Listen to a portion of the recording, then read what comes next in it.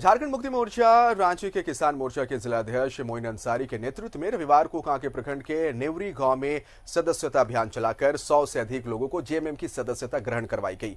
कार्यक्रम में मुख्य अतिथि के तौर पर धनवार के पूर्व विधायक निजामुद्दीन मौजूद थे। कार्यक्रम झारखंड मुक्ति मोर्चा के किसान मोर्चा में हमारे शिवचरण भाई जो हैं, वो लोग सदस्यता ले रहे हैं और वो पहले जदयू में पार्टी के थे, लेकिन अब वो किसान मोर्चा में, झारखंड मुक्ति मोर्चा में शामिल होके और उनको हम लोग झारखंड मुक्ति मोर्चा, किसान मोर्चा के जिला प्रखंड अध्यक्ष के रूप में मनोनीत करेंगे। किसान को इस साल, फ़सल के मामले में कहिए तो अच्छा रहा फ़सल अच्छा हुआ है किसानों के चेहरे पर हरियाली है।